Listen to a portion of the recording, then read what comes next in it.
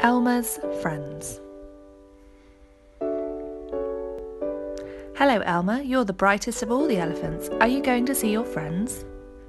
Hello, Zebra. You're the stripiest. Hello, Giraffe. No one's taller than you. Hello, Snake. You're longer than anybody. Hello, Kangaroo. Elmer's bounciest friend. Hello, Mouse. You're the smallest of all. Hello, Lion. You have the loudest roar. Hello, Owl. Elmer's wisest friend. Hello, Polar Bear, you're the whitest. Hello, Leopard, you're the spottiest. Elmer's friends are all different, but they all love Elmer. Did you know that the Earth's population is currently 7.8 billion? Yet each of those 7.8 billion people are different. There are also more than 3 million differences between your DNA and my DNA. Our fingerprints they're all unique, all detailed, and they last a lifetime.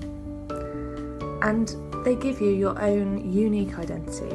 Not even identical twins have the same fingerprints as each other. No one will ever have your unique set of personality traits, of knowledge, of experience, beliefs.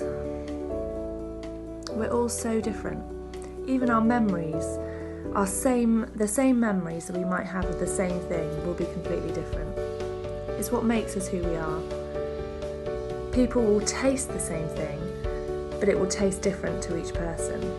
Just like the same perfume on two different people may smell completely different. We are all different, all of us. None of us are the same. We're all unique, and that's something to celebrate.